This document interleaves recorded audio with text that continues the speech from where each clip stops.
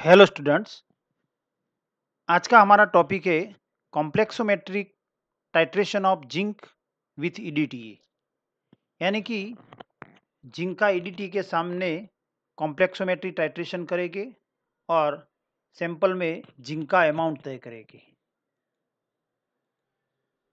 Aim to determine the amount of Z N two plus in given amount of Z N S O four of H two O by complexometric titration. S four seven S two के दिए गए solution में N plus two का amount complexometric titration से तय करेंगे। उसके लिए रिक्वायरमेंट से 0.01 molar EDTA solution stock solution of Z N two plus buffer solution of 10 pH and indicator eriochrome black T reaction equation यहाँ टाइट्रेशन के दौरान दो रिएक्शन होते हैं, जिसमें पहले रिएक्शन में कॉनिकल फ्लास्क में analyte Z N two plus का 25 फाइव एम एल सोल्यूशन लेंगे, जो कलरलेस है। उसमें indicator eriochrome black T add करेंगे, जो ब्लू कलर का है। जिसमें Z N two plus metal और इंडिकेटर के बीच रिएक्शन से जेड एन आई यानी कि मेटल इंडिकेटर कॉम्प्लेक्स फॉर्मेट होता है, जो वाइन रेड कलर का है और उस वाइन रेड कलर के कॉम्प्लेक्स में, जब सेकंड रिएक्शन में, उसमें ब्यूरेट में से टाइटन ईडीटी का सॉल्यूशन ऐड करेंगे, जो कलरलेस है। उसमें ईडीटी इंडिकेटर का रिप्लेसमेंट करता है, जिससे जिंक ईडीटीए कॉम्प्लेक्स का फॉर्मेशन होता है और इंडिकेटर फ्री फॉर्म में मिलता है, यानी कि कलर चेंज वाइन रेड से ब्लू होता है। फ्री इंडिकेटर का कलर ब्लू है, इसलिए colour change wine red to blue होता है। यहाँ जिंक इंडिकेटर कॉम्प्लेक्स की स्टेबिलिटी जिंक ईडीटीए कॉम्प्लेक्स से कम है, यानी कि zinc EDTA complex is more stable than zinc indicator complex. And यहाँ जिंक EDTA कॉम्प्लेक्स की स्टेबिलिटी 10 पीएच पे ज़्यादा है, इसलिए यह 10 पीएच के बफर सॉल्यूशन का यूज़ किया जाता है। Preparation of standard 0.01 molar EDTA solution of 250 ml 250 ml 0.01 molar EDTA का स्टैंडर्ड सॉल्यूशन बनाने के लिए यहाँ कितना वेट करना है, वो हम कैलकुलेट करेंगे। अगर ईडीटीए का मोलिकुलर वेट 372.25 ग्राम जितना वेट करेंगे, पानी में डिजोल्व करके 1000 थाउज़ेंड एम एल सॉल्यूशन बनाएँगे तो वो वन मोलर होगा। थाउज़ेंड एम 0.01 मोलर ईडीटीए का सॉल्यूशन बनाने के लिए 372.25 ग्राम ईडीटीए को 100 से डिवाइड करेंगे, यानी कि 3.7225 ग्राम ईडीटीए का वेट करना पड़ेगा। यहाँ हमें 250 fifty M L zero molar EDTA का सॉल्यूशन बनाना है, यानी कि यहाँ मोलारिटी सेम है लेकिन वॉल्यूम फोर्थ हो गया है, यानी कि वॉल्यूम चौथे भाग का हो गया है तो हम वेट को फोर्थ से डिवाइडेड करेंगे, यानी कि 3.72225 डिवाइडेड बाय फोर करने से 0.9306 ग्राम ईडीटीए होगा, यानी कि 0.931 ग्राम ईडीटीए का वेट करेंगे उसको पानी में डिजोल्व करेंगे और 250 फिफ्टी के मेजरिंग फ्लास्क में डिस्टिल वाटर ऐड करके 250 सौ डाइल्यूट करेंगे, तब ईडीटीए का 250 fifty M L zero point zero one molar EDTA का सॉल्यूशन होगा। प्रोसीजर जिसके बारे में आगे हम डिस्कशन करेंगे। ऑब्जर्वेशन ब्यूरेट में 0.01 मोलर ईडीटी का सॉल्यूशन ऐड करेंगे। कॉनिकल फ्लास्क में 25 five M L dilute Z N two plus का सॉल्यूशन लेंगे। उसमें 25 five M L distil water add करेंगे और 3 to 4 M L ten P वाले बफर सॉल्यूशन ऐड करेंगे। इंडिकेटर इरियोक्रम ब्लैक टी के three to four drops add करेंगे। और टाइट्रेशन के दौरान कलर चेंज होगा वाइन रेड टू ब्लू। तो चलो हम टाइट्रेशन करेंगे और टाइट्रेशन करके यहाँ पायलट रीडिंग और एग्जैक्ट रीडिंग यानी कि कांस्टेंट रीडिंग तय करेंगे।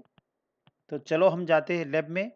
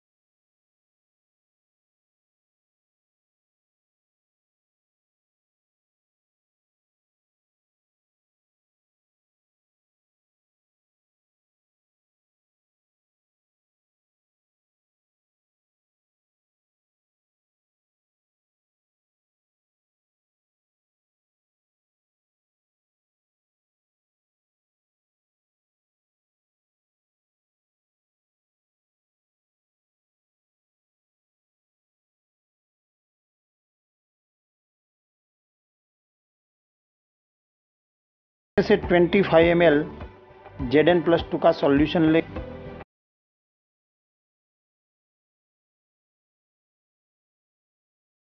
उसको कॉनिकल फ्लास्क में ऐड करेगी।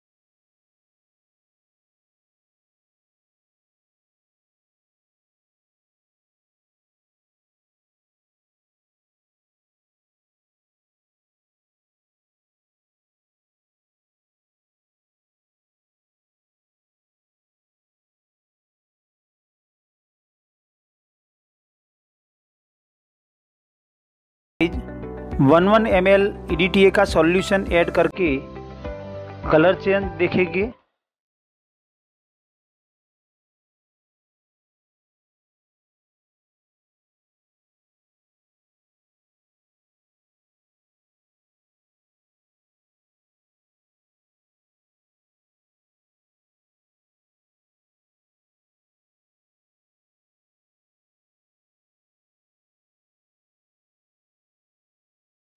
यह colour change wine red to blue हो गया है और पायलट रीडिंग है 20 एम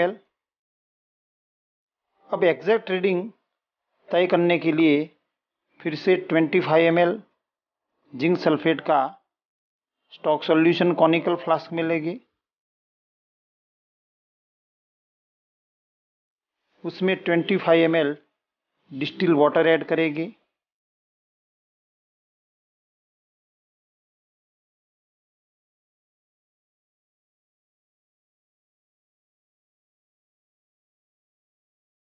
टेन पीएच वाले बफर सॉल्यूशन के three to four M add करेगी।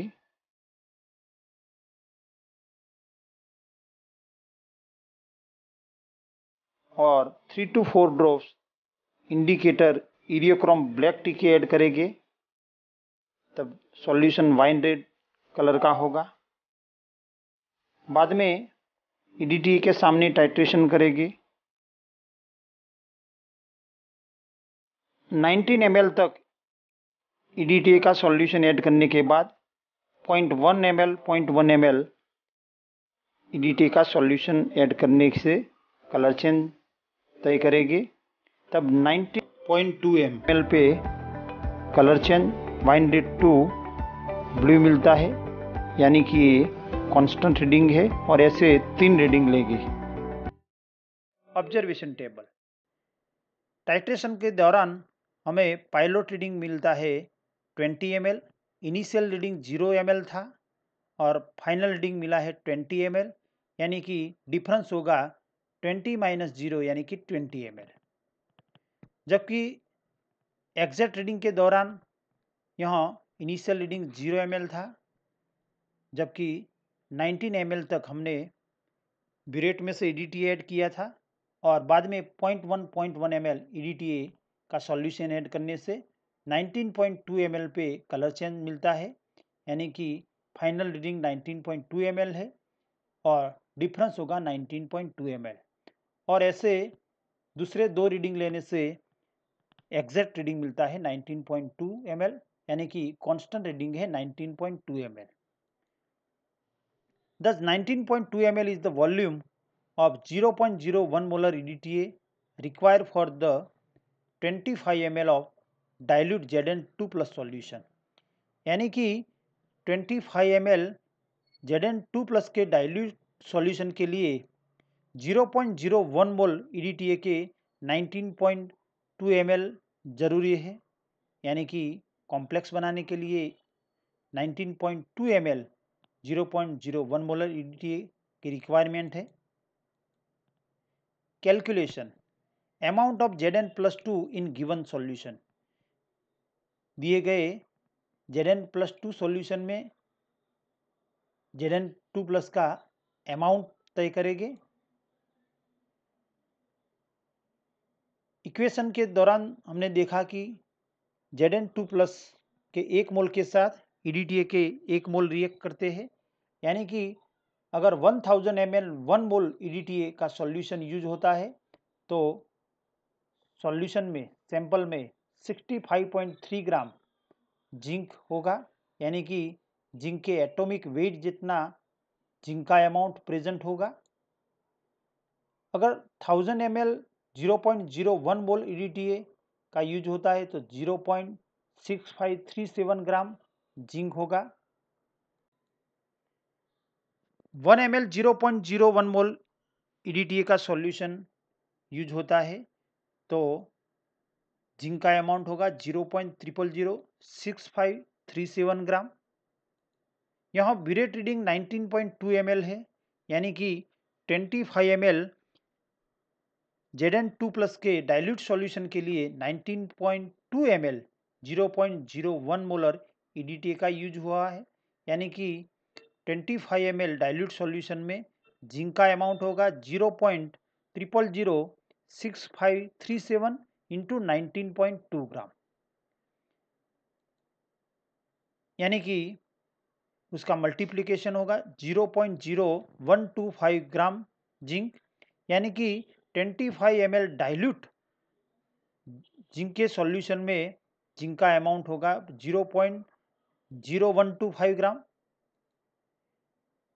250 fifty M L dilute solution में जिंक का अमाउंट होगा यानी कि 25 फाइव एम से 10 गुना होगा, यानी कि zero point zero one two five into ten gram यानी कि 25 फाइव एम डाइल्यूट सॉल्यूशन में जिंक का अमाउंट होगा point one twenty five gram यानी कि रिज़ल्ट होगा one require volume of 0.01 molar EDTA for 25 ml of dilute solution Zn2 plus solution is equal to 19.2 ml. The amount of Zn2 plus in given solution is equal to 0.125 gram. Thank you for watching.